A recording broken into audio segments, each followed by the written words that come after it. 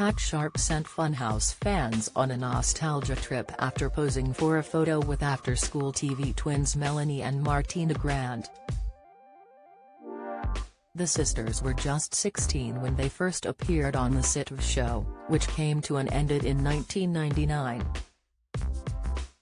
The bubbly blondes, who first got the job back in 1989, were loved for their energetic pom-pom waving while dressed in identical yellow and red cheerleading outfits. Now both mothers, the 50-year-olds still like to have fun and were quick to say yes to the radio host's request for a group snap when they met up this weekend. Funhouse Twins alert. He captioned the tweet and the upload was swiftly liked by more than 10,000 people. Pat became a household name with his mega mullet on the chaotic show but the girls were just as popular. Needless to say, the snap provoked plenty of calls for the show to return and transport everyone back to the 90s.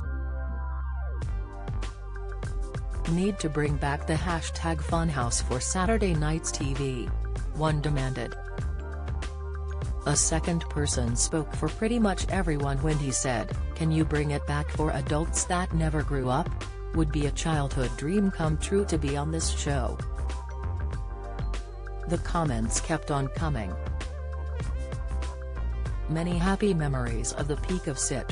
Fridays after school were always either Fun House or Knightmare before switching over to Grange Hill on BBC One. Amazing times Pat, another posted. A fourth person teased, that it was a whole load of fun, was there prizes to be won?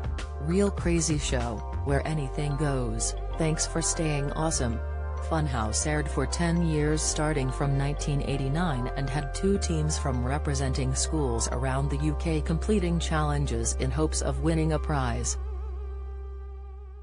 In 2020, they all appeared on This Morning to promote his book, Rerun the Fun, My Life as Pat Sharp.